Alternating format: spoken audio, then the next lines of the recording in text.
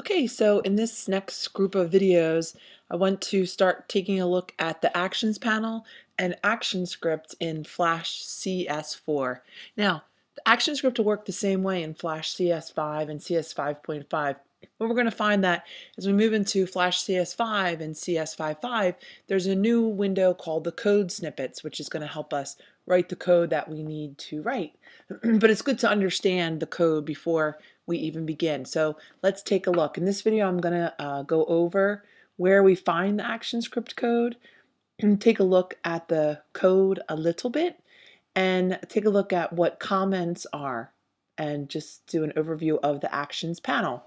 Okay, so I'm looking at my timeline right here and I can see that I have these different layers and I have a layer which is my actions layer. What we want to do is always have a separate layer where we put our actions put our actions in the frames within the action layer. So when I come right up into my window, I can open up my actions window and I click it open and there we see it. Now, when you open up your actions window, you might see a lot of other stuff. So when I take a look at this right here, um, I have this columns over here. And what these columns over here are here for, there's panels on the left and they're for navigating through code. This is really designed for when we already know code. So for our purposes, if we're just, you know, not necessarily coders, more come to this as designers, we just want to turn this off and stick right with this. Now, there's this little item called Script Assist 2.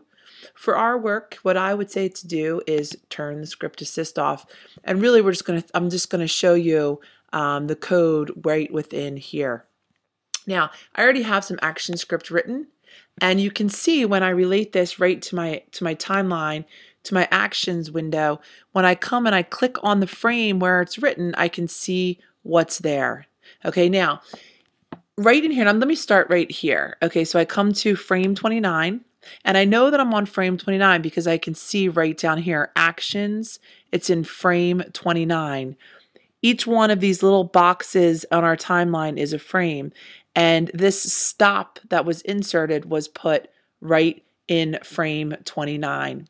Now, if we take a closer look at our action script, the blue, when we see the color blue, the blue color are words that ActionScript sends to Flash. So it's a message to Flash telling Flash to do something. Okay, so the words in blue very much make up the vocabulary of the ActionScript language. Now, we see this is ending uh, with a semicolon. We can, when we look at ActionScript, a semicolon ends a line of code, it ends a statement, and we could compare the semicolon to the function of a period in um, our language. All right, so let's take a look. So I can see that this stop, and this is the um, action script for a stop. I can come right into here and I can come to line 40. I can hover, I can see, okay, this is in frame 40, frame 40, and I see another stop. Now, the stops were written directly right into the frame.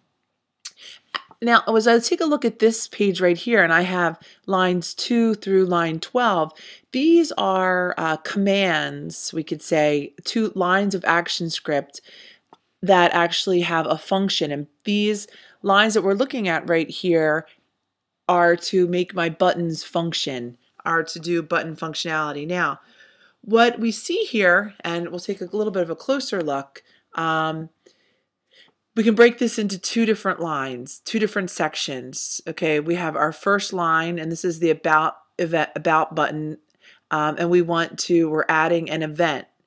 Then the second part of this command is the function, and the function is what gives the orders to what's going to happen. Okay, so we come to this next one again. We see there's a relationship between these two parts of our action script. This is another command altogether. And we see here we have that's specifying the event. Okay, and what this is saying, this line eight, it's saying when the user clicks the images button, this is what's going to happen. Go to and play blank. Okay, this line up here is saying when the user clicks the about button, the function will be go to and play about. All right, so so that's that's pretty much it. Now I want to take a look at another something. We can also insert comments, and comments can be a very um, popular thing, and you'll see them quite throughout. And they're actually pretty good if you want to, you know, put a little comment for yourself. So I can come in and I could say, "This is a line of this is a comment." Now, what does the comment do? Well, the comment is the action script Flash does not read this line and you can put a note in for yourself. Now, we use the two forward slashes. Comments are always in gray. The two forward slashes are used for one line. So what about if we wanted to do a multi-line comment? Well, we'd have to use two different two different things. We would actually use a forward slash and the star key.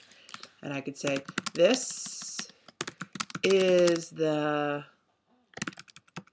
command that is used for multi multi-line comments. Use this this when you have more than one line. Now, you have to actually end this too, and we would end this line just, oh, just like that. Okay. All right, and we can see that then I come back in and the action script is happening. Now, we can use our comments when we want to give ourselves a message or we want to leave a message for someone else who's working on our project. We can also use a multi-line or just the single line comment when we want to disable a block of quote of of code. So let's say that, you know, I had my first button work perfectly, but my second one just wasn't quite working out. Well, I could come on in and I could I could disable. I could totally disable that. And maybe I would disable it all the way to the end and do, do, do, do. okay, that's what I could do.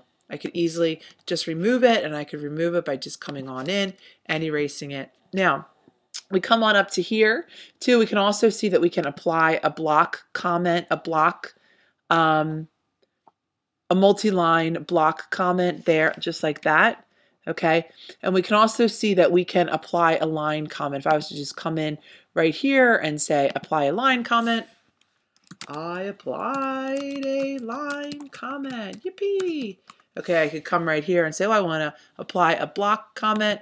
Voila. Okay, and we can see what, what ActionScript does is it gives us the beginning and the end. So we would type our block quote, our multi-line in between these two commands.